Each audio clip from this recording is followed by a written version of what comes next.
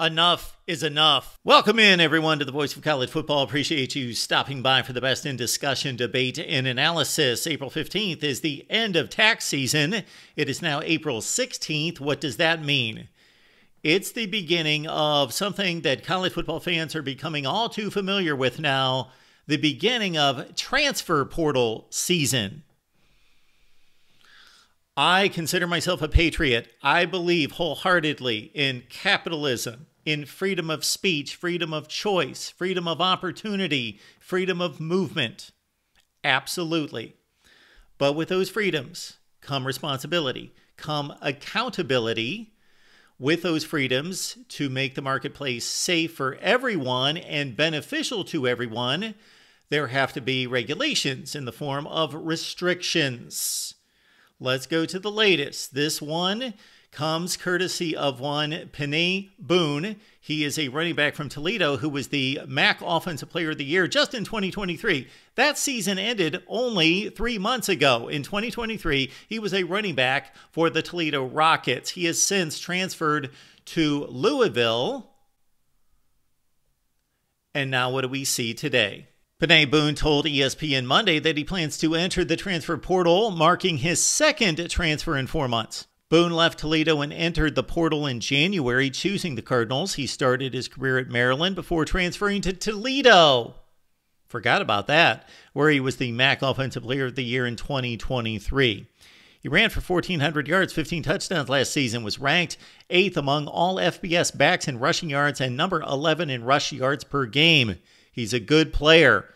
Boone was a big addition, was supposed to be a big addition, was expected to be a big addition, would have been a big addition, for the Louisville staff as leading rushers Jawhar Jordan and Isaac Guerendo are both gone. Here's the deal.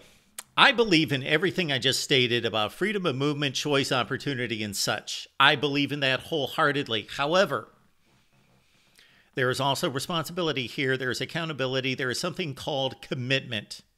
When these players transfer, do they just show up one day and say, hey, I'm here, let's go? No. There's documentation, there's an agreement, there is something stated in writing. It's called a contract. If they have fully transferred, which of course they have, they have been given a scholarship. That scholarship is a binding contract. It needs to be now stipulated that these players are contractually obligated to stay at that university for one season. That needs to be the baseline of all transfer portal transactions going forward. You need to stay for one football season. You need to be a productive member of this football team that you made a commitment to, that you signed and agreed to through a scholarship for one season.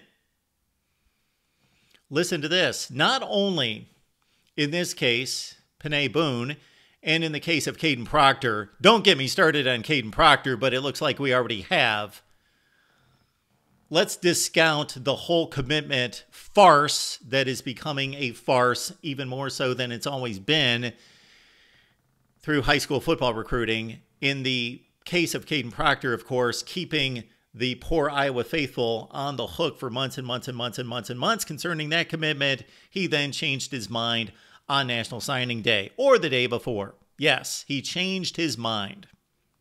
He signed and then he plays for Alabama for a season. Great for him. He did stick it out for one season.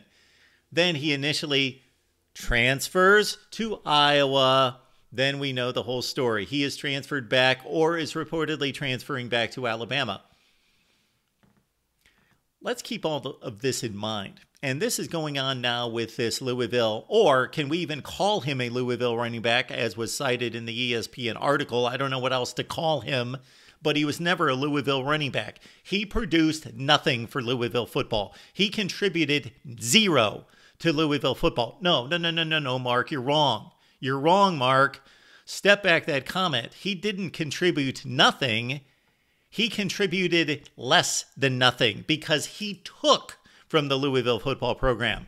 So there's a coaching staff that had to take up its time and effort and resources to invest in this young man, to pursue him, to contact him, to have conversations with him.